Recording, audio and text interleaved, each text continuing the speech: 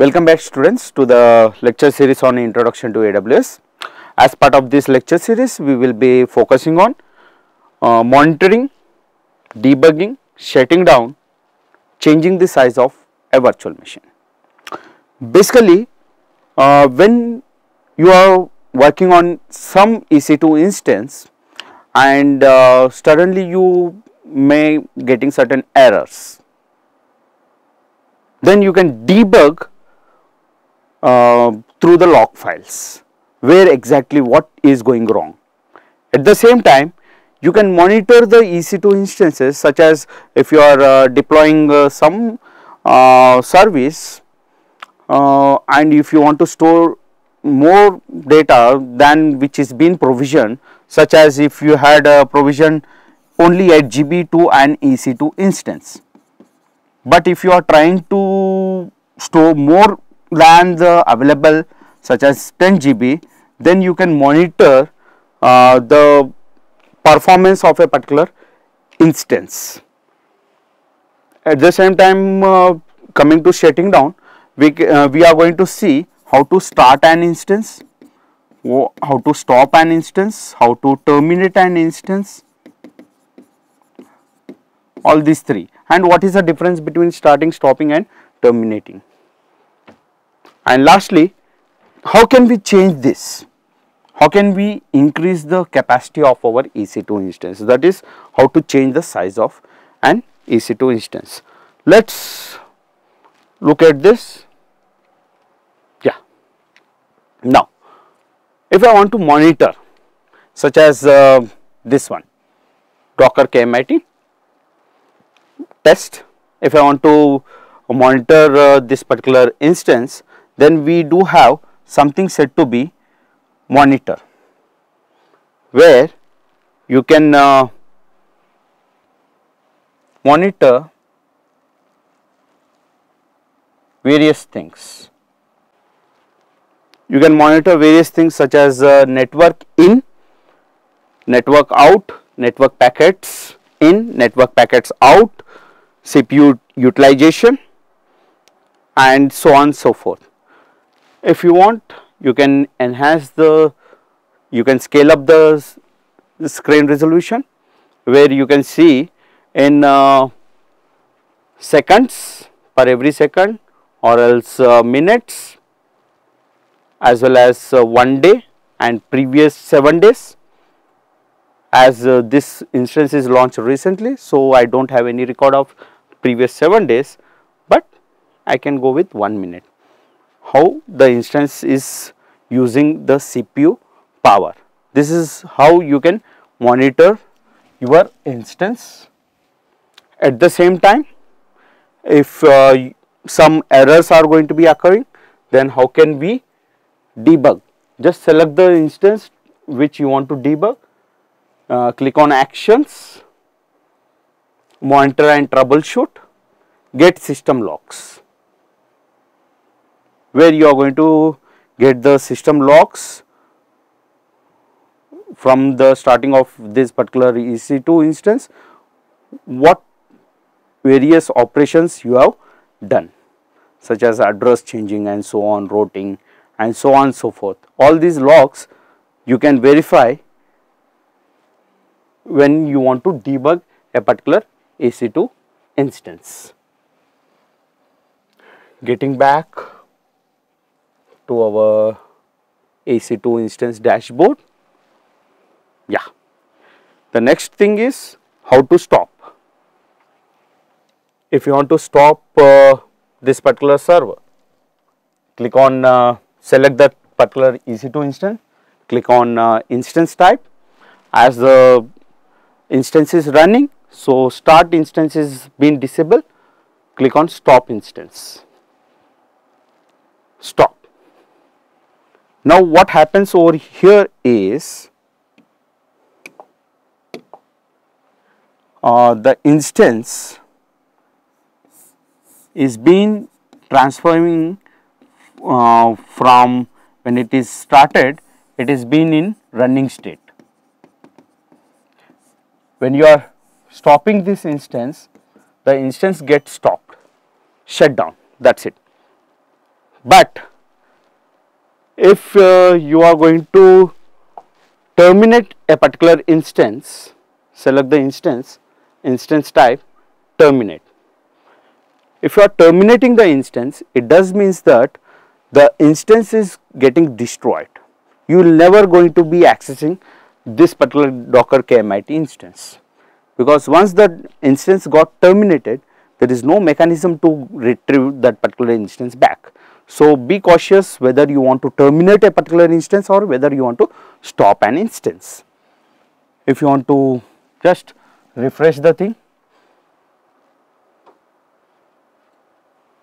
I had uh, clicked on stop or terminate sorry. Terminate terminate. And uh, if you want to start your instance select a instance which is already stopped go to the instance state start the instance. And we do have one more state that is said to be reboot. Reboot is a state uh, where uh, if your EC2 instance get stuck or hang, then you can reboot your machine by just selecting the running instance, clicking on reboot instance. It will just turn off and turn on your machine successfully rebooted. It is a fra in fraction of milliseconds it gets rebooted. So, my demo server is running. So, all these are the states where uh, you can stop an instance if the instance is already uh, uh, running in and running state. If the instance is stopped then you can start the instance.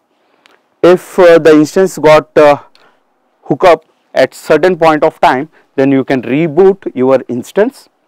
At the same time if you are no more requirement in that particular instance or a service then you can terminate the instance. And one more point which we are going to discuss is how to change the size of a particular instance. If you want to change the size of a particular instance, then that instance needs to be in a stopped state. You cannot change the size of an instance when it is in running state neither you cannot change the size of an instance when it is in terminated state. You can change the size of an instance only and only when the instance is in stopped state.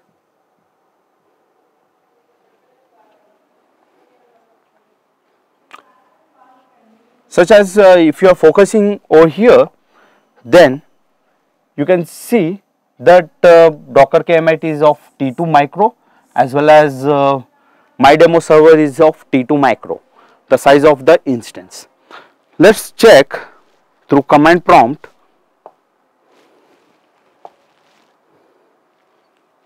mm, I cannot connect to it. Okay, the instance state is uh, stopped. Let us uh, change the instance state, mm, get into actions. Select the instance to which you want to change the size, uh, click on actions, instance settings, change instance type. And over here you can change the uh, T2 micro to some C4 4x extra large and immediately it says that when you are using your T2 micro these are the charges which are being incurred when you are shifting to T 3, 3 uh, C3 4x large, C3 is a family computing optimized, then you will be charged per hour this much cents of dollars. If you do agree, then apply.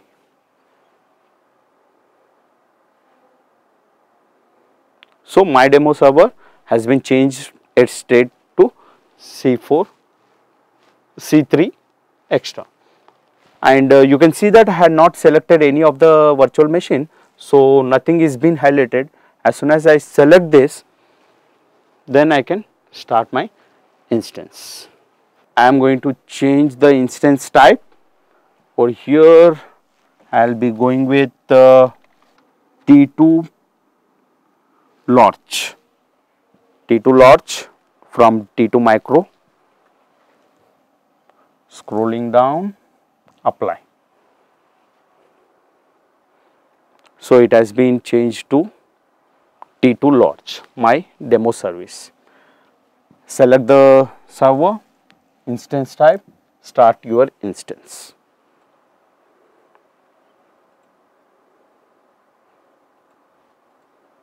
Once the state gets into running, we will connect and we will check the CPU cores as well as the memory.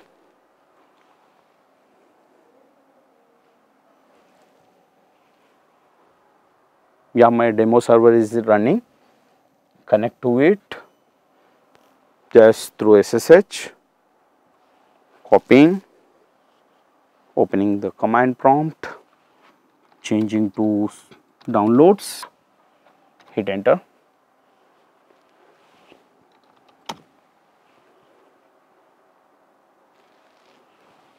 Got connected to our EC2 instance to check the memory free space hyphen m we are getting 8 GB of memory.